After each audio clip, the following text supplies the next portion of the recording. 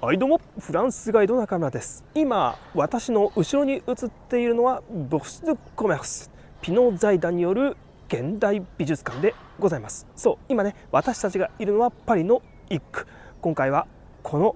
ピノ財団によるボス・ド・コメルスの魅力について皆さんと一緒に見ていきたいと思います。それでは早速いきましょう。はいということで今私たちのね目の前にあるのがレアールカノペといって巨大なショッピングセンターでございます。そして私たちの視線をこのままね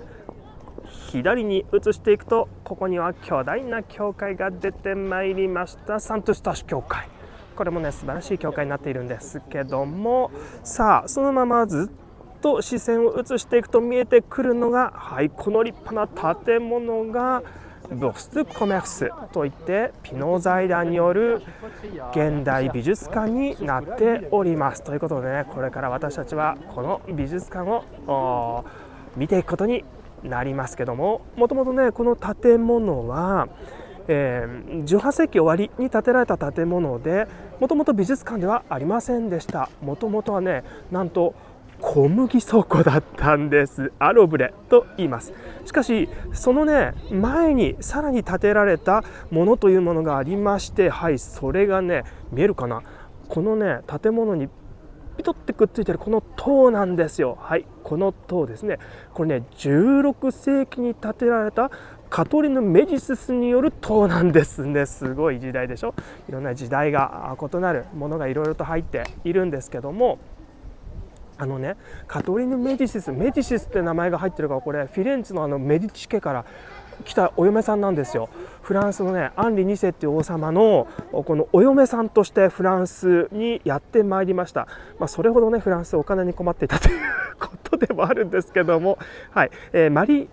あカトリーヌ・メディシスという人はいっぱいね、あのー、占い師を抱えていたんですよ。で自分の決定占い師さんとかにね相談しながらあ自分の政策決定していたっていう人でもあってでその占い師の一人にアドバイスされて建てたあ建物がこれだって言われてるんですねこの塔。そしてこの塔に付属するように大きなね門イメージを建てた邸宅がここにありました。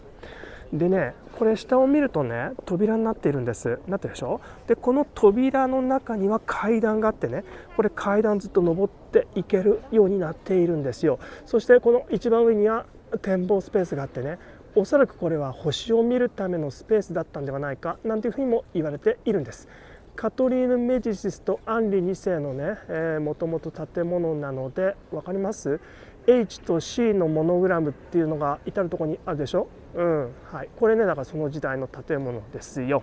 はい、でこのね下の部分には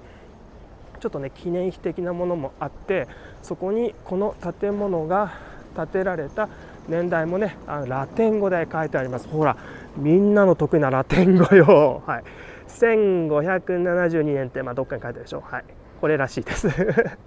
でえその後ね1749年にえこれをね壊しましたと書いてありますね。はい、じゃあねこの建物を壊した後どうしたかというとここはね、えー、小麦倉庫にしたんです。穀物倉庫ですね。というのは当時、えー、フランス革命前夜ですよ18世紀終わり18世紀終わりには天候とかがね悪くて、えー、穀物の収穫が非常に悪かった時がありますで食糧危機に直面していたパリの人たちはねベルサイユ当時の宮殿があったベルサイユまで行ってご飯がない食事がないパンがないよって言って行進をしに行きましたよねその時にマリー・アントワネットが言った言葉がパンがないんだったらお菓子食べればいいんじゃないって言ったと言われておりますよ。うんまあ、それね歴史的には信じてないだろうなというふうに言われているんですけどもまあポイントはねフランス革命の大きな原因は食料問題だったってことです。はい、それぐらい食料問題というのはパリでは頻迫したね、えー、問題だったんだということですよ。そこでパリのこれ1区ですから本当にど真ん中ねパリの人たち安心させるために作ったのがこの小麦倉庫ということなんです。はいということで18世紀末に、小麦倉庫がありました。さあ時代が過ぎてね今度は19世紀の後半でございます19世紀の半ば大体ね1830年ぐらいからフランス全国に鉄道が引かれていくんですよそしてその鉄道が引かれていて、まあ、大体ね19世紀半ばにはフランス全国に鉄道が走るようになるんだけどそうするとねこんなどでかい小麦倉庫をパリの中心地にあの作る必要ないじゃないかって話になってくるわけ。なんでパリのね郊外にストックしておいて鉄道で運べばいいじゃん必要になったらということなんでね。そう。だからこのねパリの中心地に巨大な倉庫を持つことは必要となくなったということなんですね。じゃあこの建物どうするよと話になった時に当時非常に重要、まあ、必要とされていた商品取引所にしましょうと。いうことが決まるわけね。商品取引所というのは商品の値段ね小麦とか大麦とか大豆とか油とかそのような値段を決める場所として、まあね、ここが新たにオープンすることになります。その時にちょうどねオープンしたのが1889年。これフランス革命の100年後ね。フランス革命の100年後っていうとねフランス革命の100周年記念として大きな万博をやるんだけどもこれはちょうどエッフェル塔がね作られた万博ですよ。その万博の時に合わせてここを商品取引所としてオープンさせるということだったんです。ですから中にはね万博時代に使った展示ケースなんていうものも残っているんですよ。さあさらに時代は21世紀になりました。もう商品取引所としての意味はない。えこの建物いらなくなった。維持費がめちゃくちゃ高いからパリ市が困っちゃう。どうしようかって言った時にパリ市はなんとこれを誰か借りませんか？というねアナウンスを出したらですね。その時にパッと手を挙げたのがピノーさんですよ。ピノといえばグッチとかねイヴ・サンローランとかねそういう名だたるブランドを持つフランスのビジネスマンですけど彼は現代美術のコレクターでもありまして私もね自分の美術のね、えー、コレクションを皆さんに見せるために美術館作りたいんだこの建物ぴったしだよということでねここをね現代美術館にすることにしたんです。ですから今ねこの目の前にある広場にあるこの騎馬像これもピノーさんのコレクションの一つということなんですね。普通ね馬に乗っている人っていうのは王様だったりさすごい威厳のある姿で乗ってますけどこれは、えーと、シャール・レイチャールズ・レイっていうねこのこの彫刻を作ったあの本人ですよ。あの非常にあのなんていうの危なっかしい感じで威厳のない姿で乗ってるでしょだからこういうねかつては威厳のある王様が馬に乗ってたけどそのそういうのは本当になんかやらせなんじゃないの？というね、まあ、そういうちょっと社会批判的な作品になっております、まあ、こんな作品僕いっぱい持ってるからさあの展示したいのよということで50年契約でピノーさんがこの建物を借りてですね中を現在はピノーコレクションの美術館にしてるということなんです。もともと商品取引所でしょ？中美術館に対応していません。じゃあ美術館としての形に変えなきゃいけないよということで白羽の矢が立ったのがそう私たちのヒーロ。ー なのかな？僕は大好き、うん、安藤忠雄先生ということなんですね。ということでこの建物の中には安藤忠雄さんの建築もある。ということで非常にね見物が見応えがある美術館になっております。ということで中入っていこう。はい。ということで建物のね中に入りました。今目の前にあるのはこのねブフスコメスの模型なんですけどもここから実際に内部を皆様に紹介していきましょ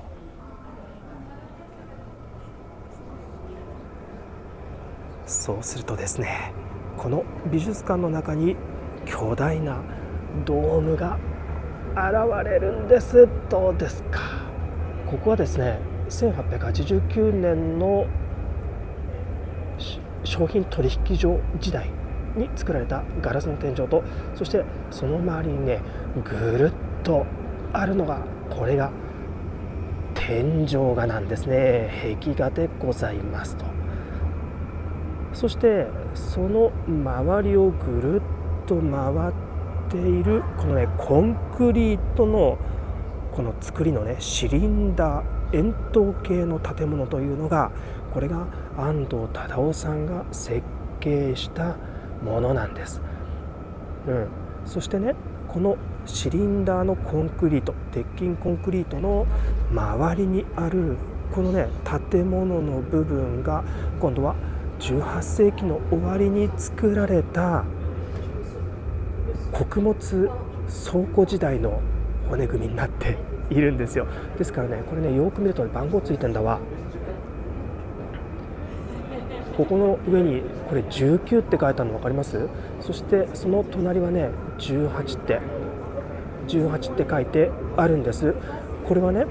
この18とか19の部分に小麦を置きましたとかねそういう意味での番号になっていたわけですね。ちょうどねこの一番初めの穀物倉庫の時にはここの上の部分に小麦を置いていたっていうことだよね。そしてねここにはねこんな巨大なベルが出てくるんですけどこれは今度は商品取引所時代のベルですよ。取引が始まる時にリーンって鳴るわけなんですね。面白いね。そして今度この展示ケース現在はピノコレクションのね現代アートの作品が展示されているんですけどもこれは1889年の商品取引所がねできた時ここちょうど万博会場にもなっていましたのでこのねあのずらっとあるのは今度は19世紀末の 展示スペースということなんです。ですからねこのあの何？ケースの一番上にはさこれなんかモノグラムになってるんですけど B と C のこれ組み合わせになっていてこれブーストコメースね商品取引所というもののイニシャルになっております。地面見てよ。これモザイクじゃないんですがこれ大理石のね違うあ大理石じゃないのかもしれない。あのこれ違うね石の色。を合わせて組んだ姿になっていて非常に優雅な建物になっております。さすがね万博に備えて作っただけあるよね。ただしこのね骨組み以外にも穀物倉庫だった時代の建築というものが現在ももう一つ残っていてそれがね今私たちの目の前にあるこの部分なんです。はい。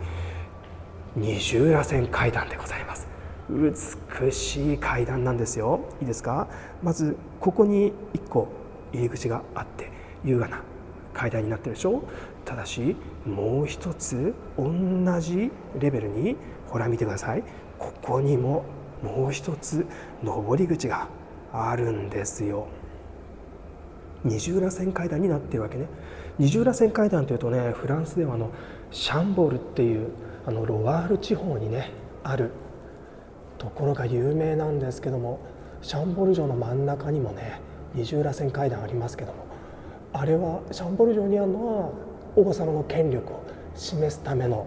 二重らせん階段ねここはねあの権力をね 示すためじゃなくてここはもっと実用的な意味合いで二重らせん階段を作っているんですよね。もともと小麦倉庫でしょう小麦をここにさあの運んでストックしないといけないじゃないですか。でだからここにさ労働者がさこの小麦の重たい袋を担ぎながらここ登るわけよね。そして今ちょうど1階部分に行ったけど中2階みたいになってるじゃない？これストックしていたところですよ。でこの上にもストックできるんだけどここにストックした後今度はその商品が売れるとするよね。そしたら今度はその商品を今度下ろさないといけないじゃない？ねまた重たい袋を持って労働者が下ろすわけなんだけどさこれ登る人と降りる人がすれ違う時危ないじゃん。ねえだからよ。だから二重らせん階段になっているわけなんですね。非常に美しいこのようなね照明もついております。さあということで今私たちはねこのえー、っと中2階の上だから、まあ、いわゆる3階部分に登ってきた。わけなんですけどもここからね今度はまた先ほどのドームが一望できるわけなんですよ。どうだいこれ。素晴らしいと思わない？ねえ。これが今度は1889年の時代に作られたものででこのね天井にある装飾画天井画も全てその時代に19世紀終わりに作られております。光が入ってきた。このね光が入ることによって本当に見え方が常に違うんですよね。ですからこのね本当にそのタイミングによって常に違う様相を表すというのがまさにねこの建物の面白いところなんですよ。ここのまあガラスの天井ねこれは万博時代1889年作られてそしてそのこの天井画もそのうちに作られるわけなんだけどもこれはね壁に直接描いているフレスコ画ではありません。うん、あのキャンパスに1回描いてねそれを壁にペタッと貼っている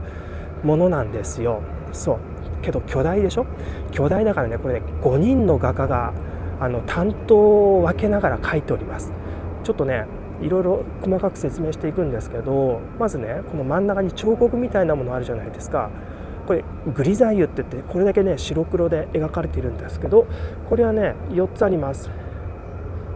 こにもあるでしょ？そして反対側ごめんなさいねちょっと目回っちゃうかもしれないけどもう1個あってそしてね私たちのこの頭上にももう1個あるわけよ。ほらねぐるっと360度回ってるっていうことなんですよ。こういうのねあのパノラマっつうんですけどこのねちょうどパノラマの4つのところにこのようなグリザインの彫刻がありましてこれちょうどね東西南北になっておりますそしてこの東西南北で分けたスペースのところをあのね 担当別で絵を描いているんですけどもこの全体のテーマが世界に広がる商業という意味なんですね。で世界に広がるっていう意味で世界のあらゆる国を各国をね特徴づけて描いているっていうのがこの壁画なんです。まずこの部分見てみよう。分かります？なんか裸の原住民とかね。あの羽をつけたインディアンとかがいるじゃない？アメリカの国旗持っている人もいてそしてそのね反対側には馬に乗ってあの帽子をかぶっているテンガロハットってだけであのカウボーイだよね。そう。ということでここは北アメリカということです。その後ろにはわかるかな？これ蒸気機関車が描かれているわけね。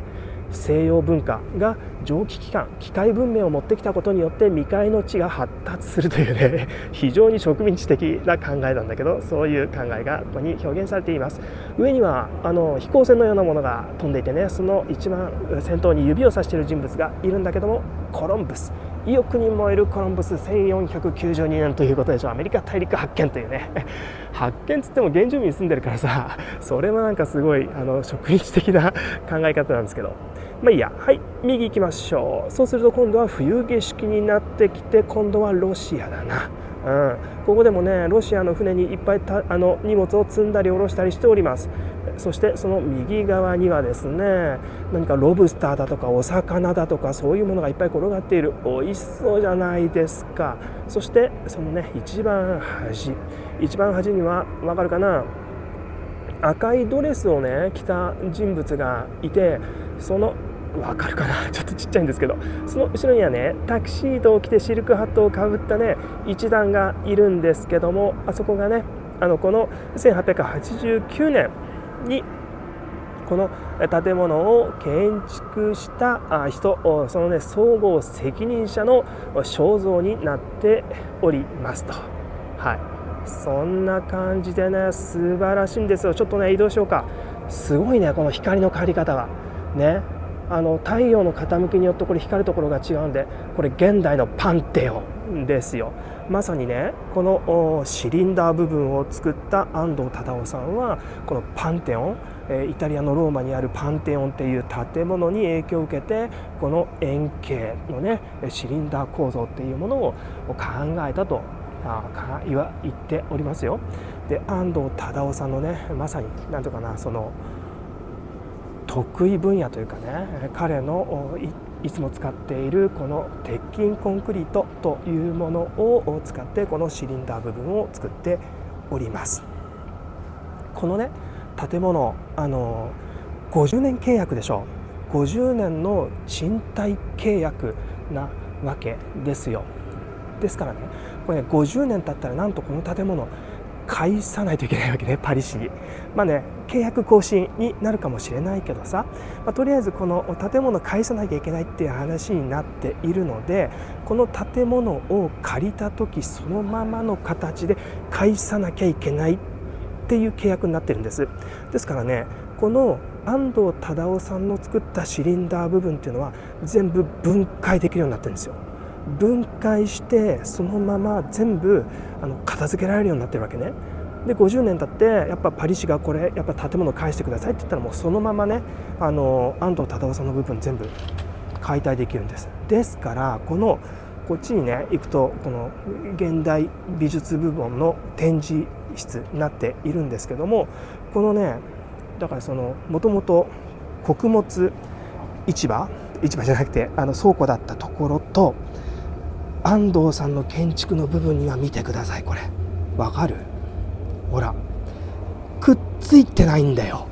ちょっと力入ってしまいましたが。これくっついてないわけね。離れてるんです。微妙に、うん、この微妙に離れているから歴史的建造物には一切触ることなく傷つけることなく解体することができるっていうふうになってるんです。でねこの安藤さんはさこの安藤忠雄さんはこの隙間のことを「間」と呼んでるらしいよ。よく日本の侍がさ「俺の間に入ったらお主死ぬぞ」なんて言ったり言うのかな？言ったりするその間よ、うん、俺の間に入るなよみたいな。日本的じゃないですか。素晴らしいね。本当に日本の技術が生かされてるって感じなんですよ。で日本の技術で言うとねもう一つだけちょっと言わして。このシリンダー部分ね安藤忠雄さんが作ったシリンダー部分よく見ると分かるかな？これよく見るとツルッツルじゃなくて穴ぼこ開いてる。これはコンクリート流し込む時の空気穴じゃないかなと思うんだけどそのねあのー、よく見るとさそれぞれの1枚ずつが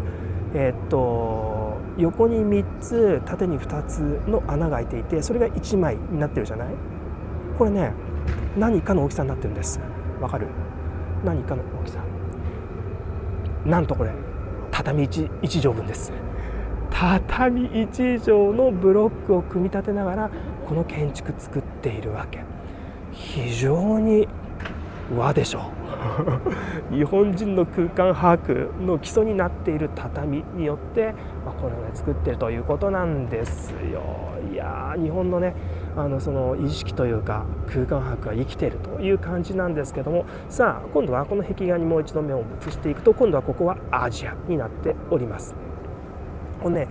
右側の部分が日本とか中国なんだろうね真ん中にはそのなんかあの提灯あ下の部分には提灯とか 置いてあってなんか日本の芸者さんなのか舞妓さんなのかよく分かりませんがだからそういう人たちがいる。日本なのか中国なのかよく分かりませんが、まあ、おそらくね当時のアジアの意識っていうのはこういう感じでいろいろと混ざっていたんでしょうね。はい、そしてその今度は左を見ると今度は中近東っていうのアラビア人。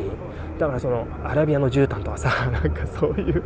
えー、なんか壺とかそういうものがいろいろと置いてありますけども当時の工芸品ということだよね、はい、そしてこの一番最後の部分こちらがいわゆるヨーロッパになっているわけです、まあ、ヨーロッパといってもね、えー、とまあこれはまあ基本的にフランスなんですけどもこれよく見るとねここでも2つの部分にできていてまずはこちら側、えっと、煙突出てて煙もくもく出てるでしょ？はいこれ工業国としてのフランスでございます。だから炭鉱で働く労働者みたいなものがメインで描かれている。そして今度右を見ると今度はフルーツとかいっぱいあのカゴから出てるじゃないですか。ということで今度はここは農業国としてのフランスが表現されているわけね。工業も発達してるし農業も発達してるそんなフランスだぜということよ。そしてその真ん中にはね食料の、まあ、本当に中心的な役割を担う小麦の積みわらが積んであるわけですよ。で真ん中に女性がいるでしょ。女性がさあのなんかバスケットみたいなところに肘ついてるじゃないですか。あの人ね非常になんかその胸を張って威厳のある感じでね描かれておりますけどもおそらくあの人は農業の娘として描かれているんですがフランス共和国を象徴するマリアンヌなんだろうね、うん、その革命によってね、えー、そのいろいろ紆余曲折を経てフランスは、えー、共和制になっておりますけど共和制を象徴する女性マリアンヌと言いますよね。はい、そのねマリアンヌがあ本当胸を張ってフランスの中心にある私たちは共和国であるというそういう表現になっていてそしてその下にはさ赤ちゃん寝てんのよ。赤ちゃん寝てその赤ちゃんの左手手なんか乗せてるでしょ？で乗せてるのなんか板のようなものに乗せてるけどその板というのがあれがパリの紋章になっているわけですよ。だからね共和制の象徴であるマリアンヌの息子がパリであると。パリというのは共和国の息子だ。ということが表現されているわけですよ。だからね、まあ、全体としてこの壁画全体として、まあ、非常にね商業の中心的役割であるフランスがいかに世界に君臨するかというような、まあ、一応ねプロパガンダになっているんだけどもまあねこういうね、まあ私、現代の私たちからさ見ればそのようなプロパガンダなんだけど当時の人たちのまあ基本的な考え方というのはこういうようなね考え方だったんでしょうね。はいということでねあのこのように壁画が間近で見られるようになったのはまさにこのね安藤忠雄さんが作ったシリンダーの上に私たちがいるからなんですよ。うん、円になってるでしょ？まあ、もちろんねこの建物自体が円だっていう意味もあるんだけども安藤忠雄さんはねこの円形にはいろんな意味があると言っていてこれはねほら始まりも終わりもないでしょ？だからそのぐるぐるぐるぐる永遠と無限に回ることができるじゃないこの周りを。だからこのシリンダーには無限の可能性が秘められているんだと。彼はインタビューで言っておりましたよ。そしてねその可能性の中で皆さんに感じてほしいのは歴史なんだと彼は言うわけね。というのはさこの建物のほら柱にはねここの柱には見えるかな？10番と書いてあるよ。そしてここには今度は9番と書いてあるよ。このような番号というのはもともとは穀物倉庫時代の番号だったよね。18世紀終わりです。そして今度ここのあれだよ。あの棚？展示棚？これは19世紀終わりの万博の時代に作られた棚だったよね、うん、そして今度今私たちが現在、えー、立っている場所安藤忠雄さんによる設計によるこのシリンダー部分というのは21世紀のものだったでしょ？はい、ということでねもう本当にいろいろな時代の建物が層を重ねるようにして作られているのが実はこの建物でね。そして今ね目の前にこの巨大ななんかその円柱がね出てきたんですけど実はこれは現代アートなんですよ。これはねこういう円円柱部分のものがあって展示今スペースになってるんですけどある時とない時があります。そこのねピノコレクションというところは彼がね持っているねどれくらい持ってるんだろう何千とかね何万かもしれないけどそういう芸術作品が数ヶ月ごとに全部ねコレクション変わっていくんですよ。展示変わっていきます。だからねまあガイド泣かせのところではあるんだけど 毎回勉強しないといけないということでねガイド任せな場所ではあるんだけどもこのようなね展示が変わっていく。だからねここは建物自体は歴史が交差するような場所になってるでしょ？そしてこのようなその現代アートの作品が毎回変わっていくじゃないですか。でやっぱり現代アートっていうのは過去だとか現在だとか未来だとかそういうものをまあ思考しながらね作っていくわけじゃない？だからどうしてもここにいる我々っていうのは歴史的な存在なんだということをやっぱり意識せざる得ないですよね。はい、ということでねまさに安藤忠雄さんもねこれを作るにあたってあのこの場所に訪れる人はもちろんねアートを楽しむっていうこともできるんだけどもその自分たちが歴史の中にいるっていうことを感じてほしいというふうにおっしゃっていましたね。うん。本当にその歴史をねいろいろと感じられる部分。そして現代アートなんかに触れながらね、え、その歴史の中にいる私たちとは一体どのような存在なのかなんていうふうに考えることもできるよね。さあ今度はね私たちはこの地下部分にやってまいりました。このね地下部分までこのように安藤忠雄さんのこのシリンダー部分というのがねあるんですよ。そしてこの下にはこれね実は映画やってんだわ。その現代作品には映像作品というものもあるでしょ？だからそのような映像作品を上映するようなこうちょっとしたねあの映画館になっております、はい、そしてこの下もねぐるっと安藤さんのシリンダー部分というものがあるんですけども最後にねちょっと皆さんにお見せしたいところがあるのよ。というのは1889年に19世紀終わりにここが、えーと、商品取引所になったんだけどその時には実はここの近くにあの中央食品市場というものが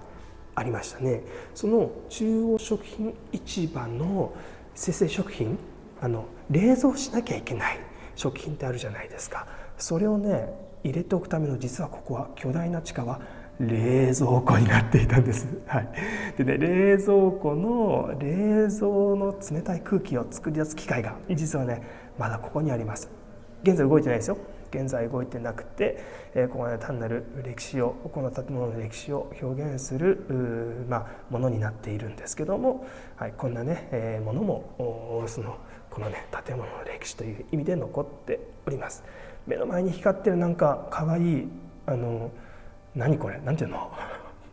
こういうのよくあのドームに入ってお土産屋さんに売ってますね。これはね現代作品なんでしょう。このねあの現代作品の展示なんかについてはまたね別の動画でまあ紹介できればいいかなと思っていますけど今回はこのブス族メスっていうね建物そしてその建物を持っている歴史そしてそのね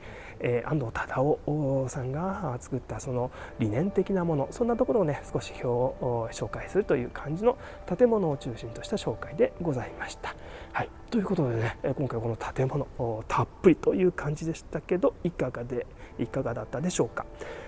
ということでね今回はこの辺にしておきましょう。少しでも面白いと思ったら高評価チャンネル登録お願いいたします。皆様の感想をぜひ聞かせてくださいね。コメントお待ちしております。ということでまた次の動画でお会いしましょう。ありがとうございました。